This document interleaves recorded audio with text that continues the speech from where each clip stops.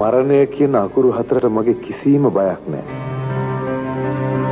කවුරු මොන විදිහේ චෝදනා කෙරුවත් හෘද සාක්ෂිය දන්නවා මම නිර්දෝෂයි කියලා.